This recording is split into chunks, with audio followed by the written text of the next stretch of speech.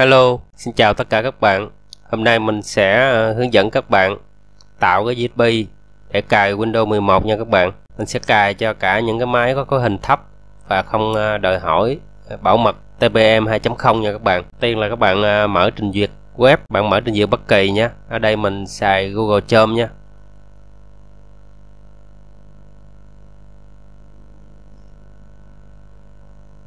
Trên thanh address bar nè, các bạn à, gõ vào google.com hoặc là google.com.vn ở một tìm kiếm của Google, các bạn à, gõ vào IDM IDM nha các bạn.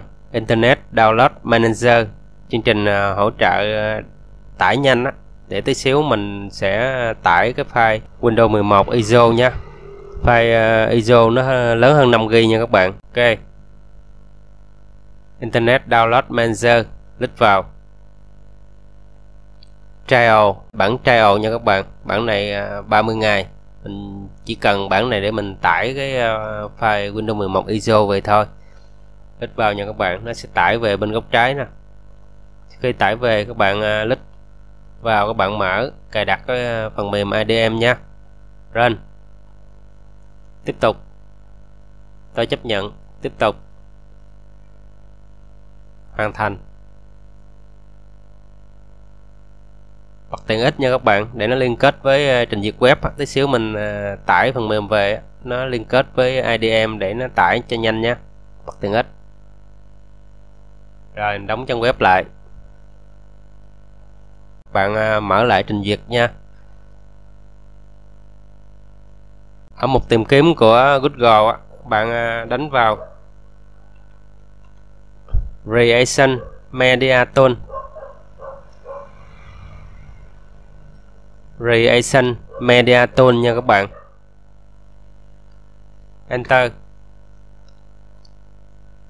Download Windows 10 Disk Email bạn click vào cái uh, link kết này nhé. Ra các bản download Windows 10 bạn thấy cái mục software download cái bên có cái mục mo có cái mũi tên dấu chết nè sổ xuống nè bạn lít vào trượt xuống Windows nó hiện ra tất cả những phiên bản Windows bạn chọn ờ, Windows 11 nó hiện ra các bản download Windows 11 các bạn ờ, kéo xuống phía dưới nha. Cái phần ờ, download Windows 11 disk image ISO file. À, ở mục select download các bạn thấy cái mũi tên sổ xuống nè chết vào. Chọn Windows 11 bấm download tiếp tục chọn ngôn ngữ nha các bạn. Chết sổ xuống nè. Chọn tiếng Anh nha. Cần phim xác nhận á. Bấm cần phim để xác nhận. 64 bit download lít vào đây nha các bạn. Đó, nó liên kết với chương trình à, IDM lúc nãy mình cài đặt đó. Nó tải cái file ISO về cái file này, cái tên nó là Windows 11 English x64.iso dung lượng của nó là 5.12GB lớn hơn 5GB nha các bạn. Giờ mình lít vào cái à, mục 3 chấm này nè, để chọn cái nơi mình lưu cái tập tin ISO nha. Mình sẽ lưu vào trong desktop, cho nên mình chọn à, desktop nè. Tùy các bạn các bạn thích lưu vào trong à, ổ C, ổ D, ổ E vậy, các bạn chọn cái thư mục cần lưu vào nha. Ở đây mình sẽ lưu vào trong desktop. Sell bắt đầu tải. Tiến hành nó tải cái file ISO về nha các bạn. Đây là chương trình à, IDM chương trình à, hỗ trợ download nhanh. Lúc nãy các bạn không cài cái phần mềm này vào trong à, PC á, thì nó sẽ tải rất là chậm nha. Vậy là nó đã tải xong cái file ISO về desktop rồi nha các bạn thì mình à, đóng cái chương trình download lại đóng trình duyệt lại nha các bạn. Sau đó mình à, vào cái à, desktop nè. File Windows 11 Enlit x64 ISO được tải về rồi nha các bạn. Ok giờ các bạn à, tiếp tục các bạn mở trình duyệt lên nhé ở à, mục tìm kiếm của Google á các bạn gõ vào Rufus Rufus nha các bạn đó, bạn thấy cái link là Rufus 3.16 nè. Tạo USB cài Win download.com.vn click vào đây nha, để tải cái thằng à, Rufus 3.16 nhớ nha các bạn, tải phiên bản 3.16 trở lên nha. Rồi các bạn tiếp tục bấm vào tải về. Hiện lên à, những cái link gợi ý cho mình à, tải nè. Các bạn chọn cái link chính nha. Rufus 3.16 tải xuống. Đó, nó liên kết với chương trình IDM chương trình à, Internet Download Manager tải về. Bạn lít vào cái ba chấm nè bạn chọn à, desktop nha để nó nằm cùng thư mục với cái file Windows 11 ISO nè bắt đầu tải. Rồi tải xong rồi mình đóng lại hết nha các bạn. Đây là cái chương trình Internet Download Manager nó đòi uh, mình phải rắc nè không cần thiết nữa các bạn. Đóng lại thôi. Đóng lại.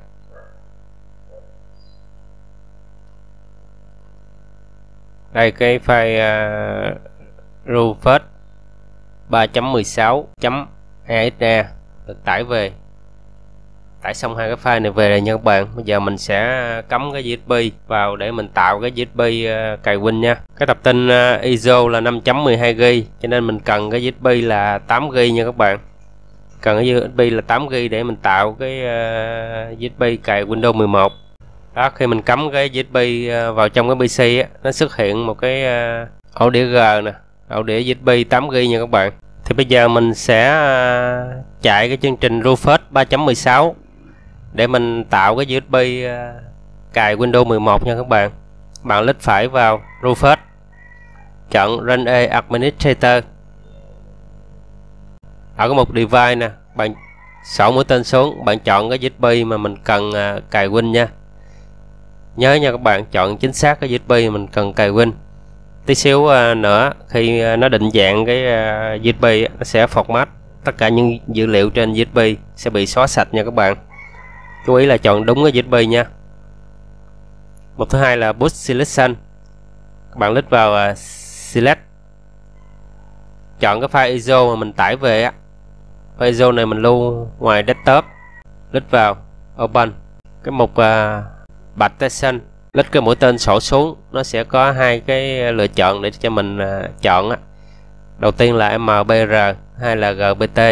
mình chọn à, MBR khi máy của các bạn à, cái chế độ boot của nó là legacy. Partition của nó là master boot record định dạng theo Bạch tay xanh là mbr thì các bạn chọn cái dòng ở trên nha. Còn khi nào cái máy của các bạn à, định dạng boot của nó là ở chế độ ờ, uh, UEFI partition là GPT thì các bạn chọn cái dòng số 2 nha. Đây mình sẽ chọn cái dòng ờ, đầu tiên là MBR column label. Bạn đặt cái ờ, tên của ổ USB đặt tùy ý nha các bạn. Đây mình đặt là Windows 11 setup. Sau khi thiết lập tất cả những cái thông số cho cái USB boot bạn bấm start nha. Tất cả những dữ liệu trên USB sẽ bị xóa sạch ok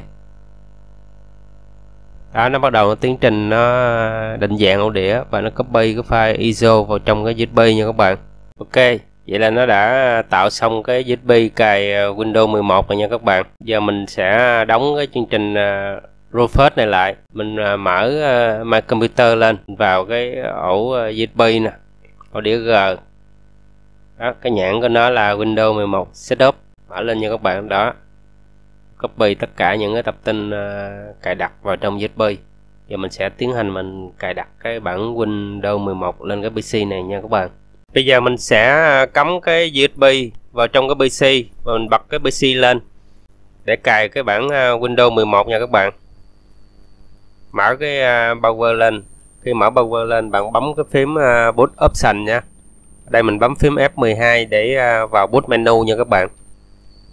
Tùy theo các dòng máy, các bạn chọn cái phím à, boot option cho nó phù hợp nhé. Mình có ghi ở dưới phần bình luận á. Các bạn à, tham khảo. Khi bạn bấm phím à, boot option bạn chọn cái boot từ USB nha. Đây, USB của mình là generic flash disk. Chọn cái dòng đầu tiên nè. Enter. Bấm phím bất kỳ để boot từ USB. Bạn bấm enter tiếp tục nha đó, nó đang à, load vào trong cái à, USB à, cài Win đó. Bạn đợi xíu nha. Hiện lên cái bảng Windows Setup. Phần chọn ngôn ngữ nè nó đang mặc định là English bạn để mặc định nha các bạn. Net. Internal active window. Nó yêu cầu nhập cái series number để vô để active cái bản windows á. Mình chọn I don't have product key nha các bạn chọn ở chỗ này nha. Tiếp tục nó hiện lên cái à, bảng à, chọn cái phiên bản Windows nè. Tất cả phiên bản Windows nằm trong cái bảng này nha các bạn. Bạn muốn chọn cái Windows 11 bản à, nào đó bạn click vào, chọn nha. Đây mình sẽ chọn cái bản Windows 11 Pro tùy các bạn các bạn muốn chọn bản nào thì bạn click vào nha. Net I accept. Chấp nhận. Net upgrade và custom. Upgrade là khi các bạn có cái bản Windows 11 trên à, cái máy rồi, các bạn cập nhật cái bản Windows 11 thì chọn cái dòng ở trên. Đây mình cài mới cho nên mình chọn à, custom nha các bạn, cái dòng thứ hai nè. Trường hợp này nếu các bạn à, cài trên cái ổ đĩa C á, thì các bạn chọn cái dòng partition số 2 này nhé. Primary nè, partition này là partition Windows nha các bạn. Lít vào cái partition này các bạn ờ, chọn format. Ok. Đó để bạn tiến hành các bạn ờ, uh, net là bắt đầu nó sẽ cài đặt lên cái bạch tay xanh số 2 này. Là bạch tay xanh ờ, uh, Windows á. Ắt tay nha các bạn. Còn nếu các bạn muốn uh, cài mới các bạn sẽ xóa tất cả những cái bạch tay xanh này nè để cài mới hoàn toàn mới á. Thì các bạn lít vào. Các bạn chọn uh, delete nha ở đây mình sẽ xóa sạch tất cả để mình cài mới nè. Ok. Xóa hết nha các bạn.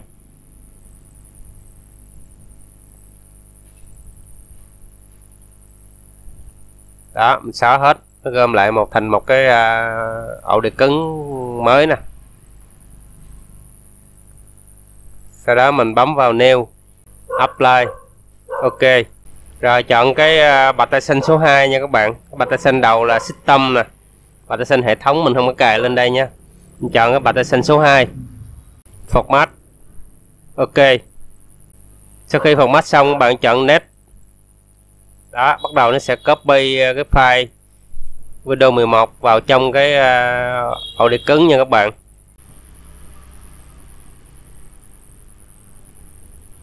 Đó, nó bắt đầu nó khởi động lại máy nha các bạn copy xong à, file vào trong ổ cứng nó khởi động lại máy. Nhớ khi khởi động lại máy nó kêu mình bấm phím bất kỳ để à, boot từ USB mình đừng có bấm nữa nha các bạn.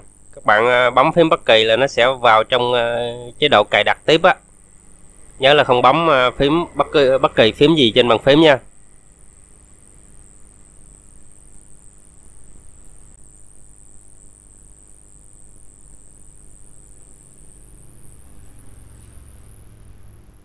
Bắt đầu khởi động máy lại tiếp lần nữa nha các bạn. Không bấm phím bất kỳ nha. Hiện lên các bạn ở đây mình sẽ à, mặc định là United States nha các bạn. Mặc định nha. Z keyboard layout. Mặc định US luôn nha các bạn. Z tiếp. Second keyboard layout. Skip nha các bạn.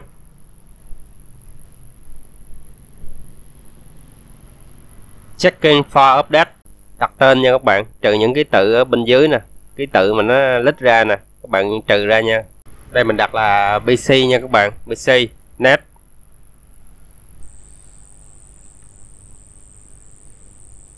Tiếp tục nó khởi động lại lần nữa nha các bạn red phím bất kỳ. Không ờ, các bạn không bấm bất kỳ phím nào nha. Bấm là nó bắt đầu nó cài đặt lại đó. Đây các bạn chọn cái dòng ở trên nha. Setup for personal view. Nhớ nha bạn chọn dòng trên nha. Net.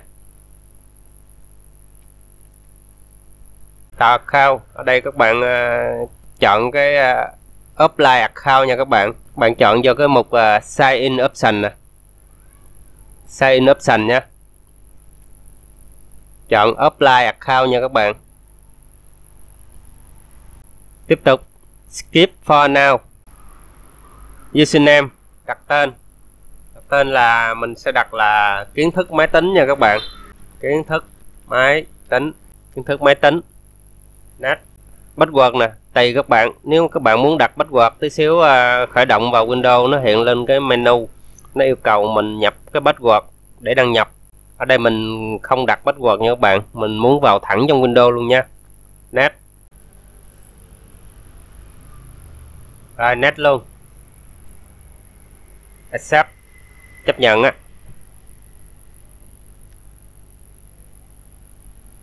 Checking for update. Kiểm tra những cái update nha các bạn. Bắt đầu nó khởi động tiếp lần nữa. Đó, nó nó đã vào Windows nó xin chào mình rồi đó thi rồi nha các bạn. Chương trình này mất vài phút. Không tắt PC đừng có tắt máy nha đợi nó uh, vài phút nha các bạn. Ok vậy là nó đã vào trong uh, Windows 11 rồi nha các bạn. Mình đã cài đặt xong rồi. Đó nó vào trong Windows 11 đây cái option cái ờ, cái cái giao diện của Windows 11 nút này nút nguồn nha các bạn nút nguồn để tắt nè. Sleep sit down di sơ. Đó. Mình sẽ khám phá sau nha các bạn. Ok. Thì phần kế tiếp, mình sẽ ờ, hướng dẫn các bạn cách update cái bản ờ, Windows 11 này nha các bạn. Các bạn nhớ ờ, đăng ký kênh và bấm vào cái biểu tượng của cái chuông á, để video kế tiếp nó sẽ thông báo đến các bạn nha. Cảm ơn tất cả các bạn đã theo dõi video. Nhớ bấm like và đăng ký kênh ủng hộ mình nhé. Xin chào tạm biệt và hẹn gặp lại. Thank you.